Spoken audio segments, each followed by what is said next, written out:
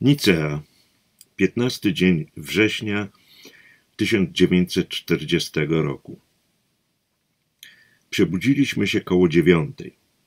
Prosto z łóżka wyskakuje na balkon. Dzień jest słoneczny, od morza silny wiatr i duża fala. Każdy wał, łamiąc się na brzegu, wyrzuca fontanny wody i piany. Będzie kąpiel na fali. Śniadanie w restauracji. Miałem dłuższą rozmowę z patronką na temat naszego jedzenia. Powiedziałem jej, że jesteśmy zmęczeni, że długa droga przed nami i że musimy dobrze i dużo jeść, przy tym tanio. Wobec tego do normalnego menu będzie nam dodawać półmisek makaronu z sosem pomidorowym lub startym serem Gruyère. Potem wróciliśmy do hotelu i po naprawieniu namiotu i wypraniu shortów poszliśmy się kąpać. H czekała już na nas na plaży, która tutaj jest marna. Drobne kamyki, a ani ziarnka piasku. Francja na gwałt umoralnia się. Tu wyszło rozporządzenie, że nie wolno leżeć na plaży nogami do Promenade de Anglais, tylko głową, nogi w kierunku morza. Poza tym głosi się walkę z alkoholizmem. Mają zabronić sprzedaży aperytifów zawierających ponad 15% alkoholu. Natomiast wina ile kto chce. Koniaku, rumu, likierów, ile dusza zapragnie. Grunt, że można powiedzieć i, co jeszcze ważniejsze, napisać, że rząd Petena zabrał się do rekonstrukcji kraju. I oni w to wierzą, tak jak wierzą, że strefa nieokupowana jest istotnie wolną Francją. Tymczasem trudno byłoby wymyślić coś bardziej niszczącego niż taki podział kraju na dwa kraje. Niemcy podzielili w ten sposób nie tylko Francję, lecz także każdego Francuza. Na plaży nie ma prawie nikogo, bo w Nicei w ogóle pustki. Fala jest wysoka. Łapię moment pomiędzy załamaniem się jednego grzbietu i drugiego i wypływam. Huśtawka. Raz widzę cały brzeg, raz tylko góry wody. Potem leżę w słońcu i drzemię. Myślami przebiegam to wszystko, co matka opowiadała mi o tych miejscach. Było, minęło i nie wróci. Świat z każdym rokiem ubożeje, pomimo tego, że mógłby stawać się coraz bogatszy. Nic dziwnego. W każdej produkcji, przed wytworzeniem jakiegoś określonego typu produktu, najwięcej kosztują doświadczenia, eksperymentowanie. Cały świat, może pod wpływem techniki, rozpoczął już od dawna eksperymentowanie w urządzaniu życia, podobne do tego, jakie odbywa się w fabryce samochodów przed wypuszczeniem nowego modelu. Niestety, w fabryce samochodów robi się to znacznie uważniej niż w produkcji ustrojów. Huxley, Ends and Means, ma rację. Trudno pojąć, że w tym wieku techniki, w którym od zwykłego inżyniera wymaga się wysokich kwalifikacji, ustrój i polityka są domeną otwartą dla każdego. Byle kto może przyjść i zacząć paprać, jak pokątna akuszerka fabrykantka aniołków. No i produkcja dorosłych aniołków wzrasta z roku na rok. To dziwne, że Huxley pisząc tę swoją książkę tak niedawno, nie dostrzegł, jak bardzo jest już niemodny z tą całą dyskusją i walką przeciw zasadzie cel uświęca środki. Przecież z tym pogodził się już każdy od dawna. Ends and Means przypomina chwilami odnawianie dyskusji o ilości aniołków mogących pomieścić się na końcu szpilki. Jesteśmy już znacznie dalej. Cel uświęca ludzi, którzy do niego dążą. Uświęcone środki były tu zjawiskiem wtórnym.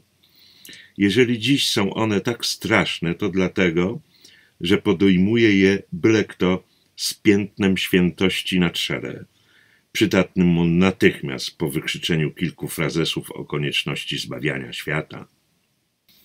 Chwila zastanowienia wystarcza, żeby dostrzec, że jeżeli chodzi o tę dziedzinę, żyjemy w okresie potwornego obskurantyzmu. Huxley zdaje się zupełnie nie dostrzegać, że istotne przyczyny zła tkwią dzisiaj przede wszystkim w niezrozumiale wielkim potencjale akceptacji byle czego. Ludzie stali się tak samo cierpliwi jak papier. Po kąpieli poszliśmy na obiad. Świetny. Potem krótka drzemka i przebieramy się. Zbliża się wielki punkt dnia Monte Carlo. Tadzio zupełnie nie może uwierzyć, że naprawdę jedziemy do Monte Carlo i jest rozgorączkowany. Czy nas wpuszczą? A ile tam można stawiać? Czy tam wolno wejść w takich spodniach? I tak dalej. Wkłada najładniejszą koszulę, spinki, moczy włosy wodą kolońską, kryguje się i mistrzy przed lustrem. Inteligencji tymczasem nie wiążemy, bo na tym upale można by się udusić. Już i tak w marynarkach i w pończokach czujemy się jak spętani. Z Nicei do Monte Carlo jest 25 kilometrów. Wyciągamy rowery i wyruszamy przed godziną piątą. Od razu na początku o mały włos nie powywracaliśmy się. Po dziewięciu dniach jazdy na obciążonym rowerze czujemy się głupio. Droga z Nicei do Monte Carlo jest wspaniała. Podjeżdżamy pod stromą górę. To drugi koniec zatoki. W dole miasto, port, na prawo morze, na lewo ciemna ściana Alp morskich. Morze ma jakiś niesamowity kolor błękitno-zielonkawy przesiany smugami wszystkich odcieni niebieskiego i zielonego. Droga wije się wzdłuż brzegu, raz w górę, raz w dół, na prawo morze, na lewo strome zbocza, pokryte willami i tarasami ogródków. Gdzieś wysoko w skałach prześlizguje się linia kolejowa, połykana co chwilę przez tunele.